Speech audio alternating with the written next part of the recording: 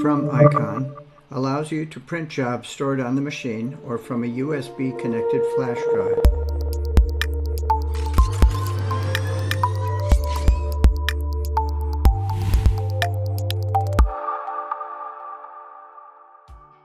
Touch the Print From icon.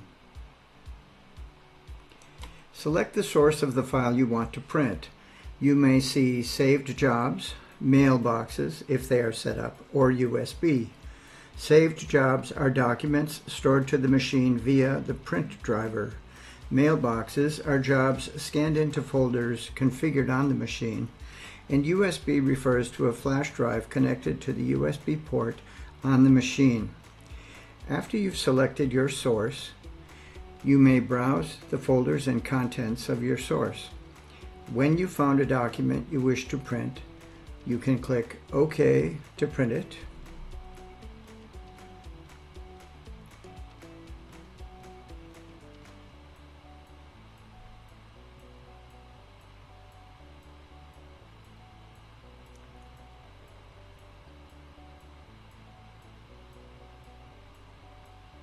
Or you can check the checkbox and continue to add documents to your print list.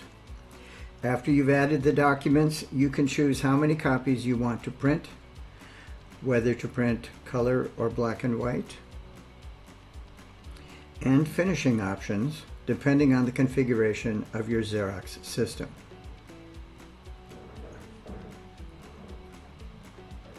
After you've selected your options, click Print. The documents will print out. You can observe their progress by touching View Job Queue.